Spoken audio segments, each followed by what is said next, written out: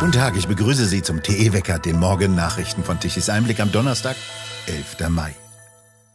Eine Milliarde Euro mehr als bisher sollen die Länder vom Bund für weitere unbegrenzte Einwanderung erhalten. Der Bund stockt damit die Flüchtlingspauschale in diesem Jahr auf dann 3,75 Milliarden Euro auf. Doch einen sogenannten Systemwechsel, wie ihn die Bundesländer zu einer flexibleren Finanzierung der Flüchtlingskosten gefordert hatten, stimmte der Bund aber nicht zu. Dies ist das Ergebnis des gestrigen Flüchtlingsgipfels im Bundeskanzleramt, wie es Kanzler Scholz gestern spät abends sagte. Er brachte dabei das Thema auf den Satz, Zuwanderung sei und bleibe eine große Aufgabe. Alles Weitere blieb offen. Die Grünen wollten verhindern, dass die Liste der sicheren Herkunftsländer erweitert wird. Jetzt wird die Liste nur um Georgien und Moldau erweitert. Der Bund werde weiter zur Einreise ermutigen, fasst Mario Turnes bei Tichys Einblick das Ergebnis zusammen. An den Außengrenzen der EU hoffe Scholz, dass die Partnerländer das Richtige machen, ohne dass er sich die Hände schmutzig machen und seine Jusos mit unschönen Bildern konfrontieren müsse. Davon abgesehen suche Deutschland eine europäische Lösung bei der Verteilung von Flüchtlingen. Eine Forderung, die in zwei Jahren ihr zehnjähriges Jubiläum erlebe, so Mario Turnes. Die Kernforderung der Länder bleibt. Sie wollen eine Kopfpauschale. Das bedeutet, je mehr Einwanderung es gibt, desto höher sind die Kosten und desto mehr soll der Bund bezahlen. Der Bund will die Kostenübernahme für die Einwanderung begrenzen, aber nicht die Einwanderung. Kostet sie dann mehr, sollen die Länder zahlen oder die Kommunen. Der Kanzler müsse das Thema zur Chefsache machen, Verantwortung übernehmen und Führung zeigen, so kritisiert die CDU. Nordrhein-Westfalens Ministerpräsident Wüst von der CDU sagte, wer über die Steuerung des Zuzugs entscheide, müsse für seine Entscheidungen die finanzielle Verantwortung übernehmen und die Konsequenzen tragen. Der Bund dürfe seine Verantwortung nicht länger nach unten auf die Städte, Kreise und Gemeinden abschieben, so Wüst. Als weitere Alibi-Veranstaltung kritisierte die AfD den Flüchtlingsgipfel. Zentrales Thema sei die Frage der Verteilung der Migrationskosten zwischen Bund und Ländern, nicht aber die Frage, wie diese Kosten überhaupt entstanden seien und wie sie mit Abschiebungen und Grenzschutz zu reduzieren seien. Vom entscheidenden Punkt lenke die Bund-Länder-Diskussion um die Kostenverteilung ab. Das Geld würden am Ende die Bürger bezahlen.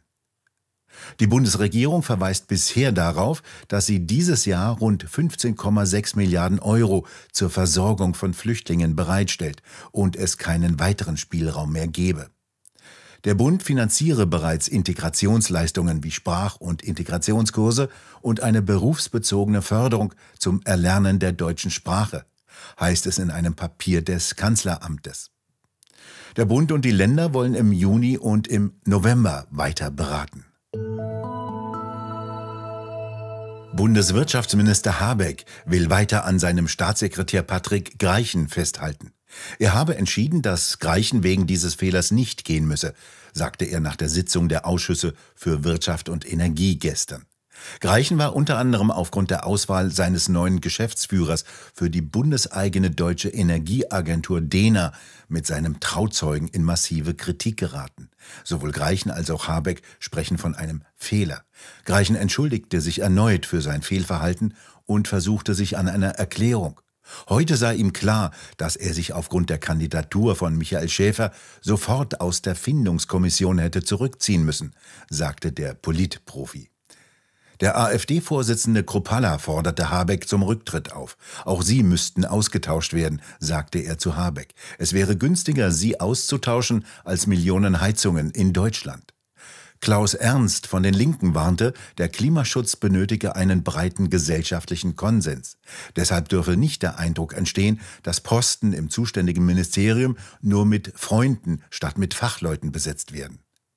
Der Obmann der Linken im Wirtschaftsausschuss, Pascal Meiser, hält eine Entlassung von Greichen weiterhin für ratsam. Auch nach der Anhörung von Habeck und Greichen empfehle er Herrn Habeck, sich nicht dauerhaft den Fall Greichen ans Bein zu binden, wenn er nicht möchte, dass seine Arbeit dadurch gelähmt werde.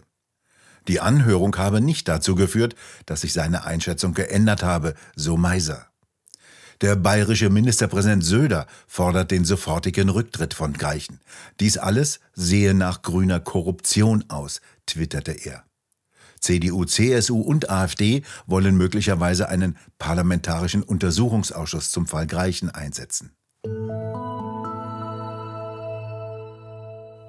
In Wien haben die Klebeaktionen der Klimaextremisten jetzt ein Menschenleben gekostet. Die Klimaextremisten der sogenannten letzten Generation versperrten einem Rettungswagen, der sich auf dem Weg zu einer Reanimation befand, den Weg. Erst nachdem die Polizei eingegriffen hatte, konnte das Fahrzeug weiterfahren. Zu spät. Der Patient hat den Einsatz nicht überlebt. In Berlin behandelte der Bundestag gestern einen Antrag der AfD-Bundestagsfraktion, die Organisation Letzte Generation zu verbieten. Sie stelle eine Bedrohung für die verfassungsmäßige Ordnung der Bundesrepublik dar. Im Anschluss an die Debatte überwiesen die Abgeordneten die Vorlage in den federführenden Ausschuss für Inneres und Heimat.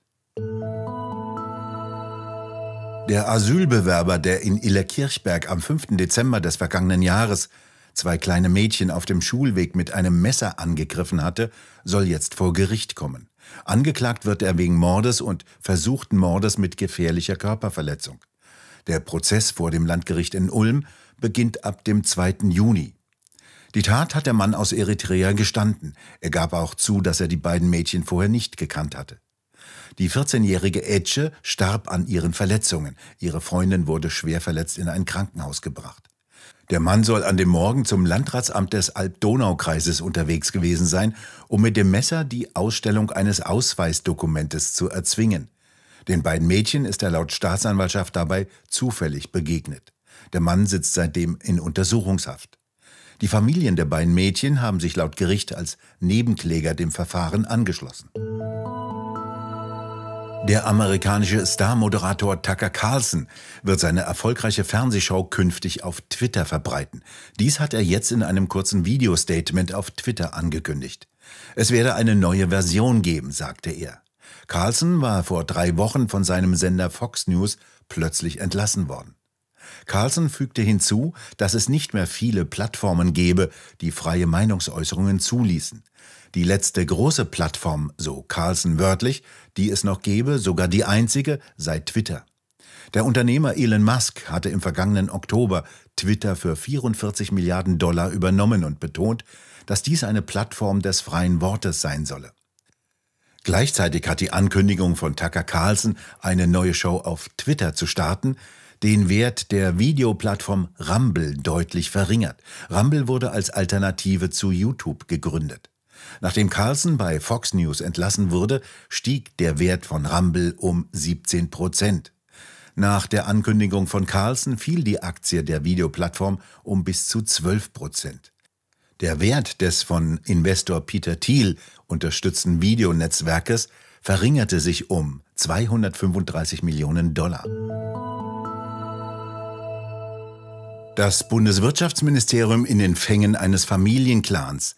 Ist das nur das Fehlverhalten eines einzelnen Staatssekretärs oder ist es nur die Spitze eines Eisberges an Verfehlungen und ist dies eine Gefahr für Demokratie und Rechtsstaatlichkeit? Darüber diskutieren Roland Tichy und Frank Henkel mit dem ehemaligen Bundestagsabgeordneten Mario Miroch und dem Staatsrechtler und ehemaligen Verteidigungsminister Rupert Scholz das, was dem Herrn Greichen angelastet wird, dass er familiären Filz im, in Extremmaß nicht? Bruder und Schwester sind in einem diesem Öko-Institut. Äh, dann ist er noch verschwägert mit dem Staatssekretär Kellner, mit seinem Kollegen. Ähm, das sind äh, Filzelemente, die untragbar sind.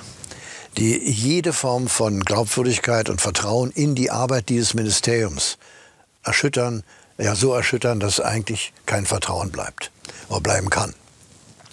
Und wenn der Minister jetzt sagt, er hält an dem Staatssekretär fest, dann bestätigt er eigentlich nur, dass er selber verantwortlich ist. Wie ich vorhin schon gesagt habe, ein Staatssekretär handelt im Auftrage, immer im Auftrage seines Ministers. Er ist Vertreter des Ministers. Und wenn sich ein Minister vom Fehlverhalten eines Staatssekretärs dieser Art nicht wirklich auch personell trennt, dann geht es um ihn. Das heißt mit anderen Worten, die Frage entwickelt sich nach meiner Auffassung deutlich dahin, nicht mehr nur Rücktritts- oder Ablösungsforderungen ad personam Gleichen, sondern ad personam Habeck. Da entwickelt sich die Geschichte hin und das ist bei dem Verhalten des Ministers derzeit unausweichlich. Bei der Entwicklung der Geschichte, wie Sie es gerade so schön beschreiben, was glauben Sie, bedeutet die ganze Affäre eigentlich für die Ampel und für Kanzler Olaf Scholz? Es bedeutet sehr viel Negatives, das ist ganz eindeutig. Der Kanzler hat sich ja bisher, wie es so seine Art ist, äh, rausgehalten unter dem Motto, ich habe mit den ganzen Geschichten gar nichts zu tun. Das ist seine Haltung, wie er es ja auch sonst auch bei Sachfragen vielfältig tut. Gut, das mag man kritisieren, mag man nicht kritisieren, aber der Kanzler ist der Chef eines Kabinetts. Und wenn einem Kabinett äh, Fehler, Säumnisse, Rechtswidrigkeiten dieser Art geschehen, ist er selbst mit betroffen, weil er verantwortlich ist. Das heißt, man kann es auch so formulieren. Eigentlich müsste der Bundeskanzler hergehen und müsste sagen, Herr Habeck, was in Ihrem Ministerium passiert, mit Ihrem Segen, geht nicht. Sie müssen gehen. Das wäre früher auch, in anderen Zeiten immer so gewesen. Ich erinnere mal ganz früh eine Banalität, als es um den Herrn Möllermann von der FDP mal ging. Eine reine Banalität, da hatte für irgendjemand ein Einkaufschips. Ja, Einkaufs ja, ja. Also lächerlich, gemessen an dem, worum es heute geht. Aber das war das Ende der Laufbahn Möllermann. Und äh, so ist das Ende der Laufbahn Habeck meines Erachtens unausweichlich. Aber das muss der Bundeskanzler entscheiden.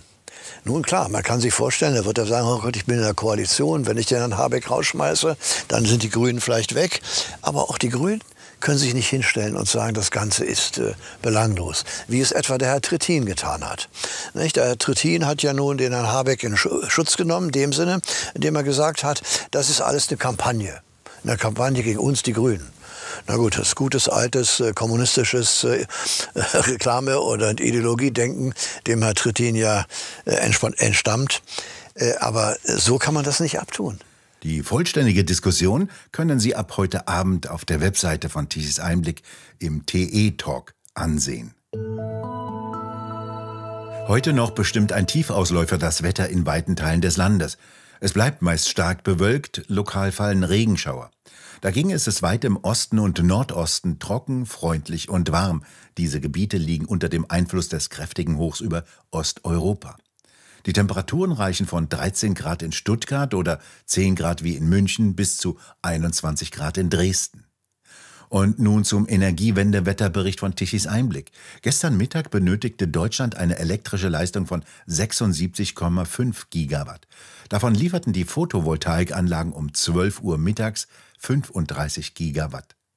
13 Gigawatt kamen von den Windrädern und knapp 23 Gigawatt kamen von den konventionellen Kraftwerken. Ohne erhebliche teure Stromimporte wäre es dunkel geworden in Deutschland. Das Land wurde von einem Stromexportland zu einem Stromimportland verwandelt.